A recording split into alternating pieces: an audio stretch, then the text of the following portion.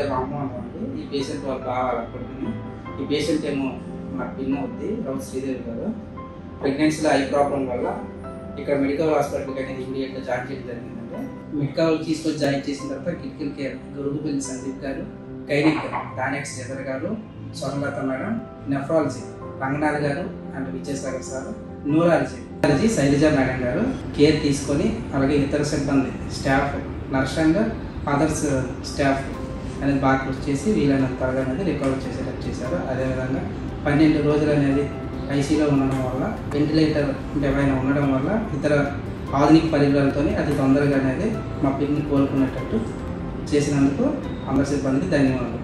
నా పేరు doctor Sandeep Gurugubelli consultant critical care medical hospital Srikakulam. నా పక్కన ఉండే పేషెంట్ నేమ్ శ్రీదేవి అండి. శ్రీదేవి పేషెంట్ రీసెంట్గా మా హాస్పిటల్లో పోస్ట్ కార్డియాక్ అరెస్ట్ కేర్ కోసం అడ్మిట్ అవ్వడం జరిగింది. ఈవిడ హై రిస్క్ ప్రెగ్నెన్సీ అవడం చేత డ్యూరింగ్ డెలివరీ టైంలో కార్డియాక్ అరెస్ట్ గురయ్యారు. పోస్ట్ కార్డియాక్ అరెస్ట్ కోసం around forty five minutes CPR తర్వాత మా హాస్పిటల్కి అడ్మిట్ చేయడం జరిగింది.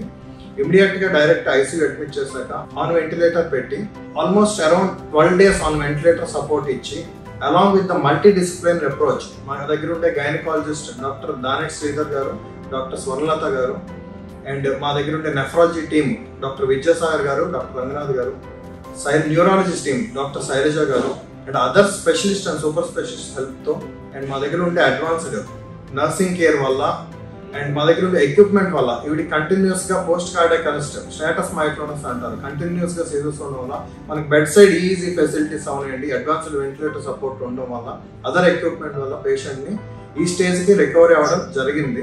సో మా దగ్గర ఉండే multi modality approach with multi super specialist and specialist doctors availability and మా దగ్గర ఉండే అడ్వాన్స్డ్ ఎక్విప్మెంట్ అండ్ ఇన్వెస్టిగేషన్స్ వల్ల మనం ఇలా ఇలాంటి కేసెస్ చాలా కామన్గా అడ్మిట్ చేయడం జరుగుతుంది అండ్ ఫ్రీక్వెంట్గా డిశ్చార్జ్ చేయడం కూడా సేఫ్లీ జరుగుతుంది.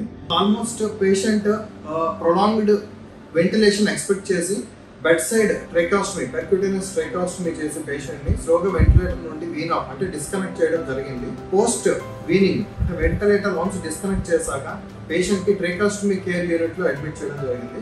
ట్రైకాస్టమీ కేర్ యూనిట్లో కంప్లీట్ రీహాబిలిటేషన్ అంటే దానికి సంబంధించిన స్పెషలిస్ట్ ట్రైకాస్టమీ కేర్ తీసుకునే nurses and physiotherapy and rehabilitation team ఉండడం వల్ల మనం పేషెంట్ ట్రైకాస్టమీ వీన్ చేసి ఇప్పుడు ట్రైకాస్టమీని కూడా డిస్కనెక్ట్ చేసి పేషెంట్ స్టేబుల్గా ఇప్పుడు డిశ్చార్జ్ చేయగలుగుతాం పోస్ట్ కార్డియాక్ అరెస్ట్ అనేది ఒక స్పెసిఫిక్ డిసీజ్ ఎంటిటీ అండి ఒక సిచ్యువేషన్ అది.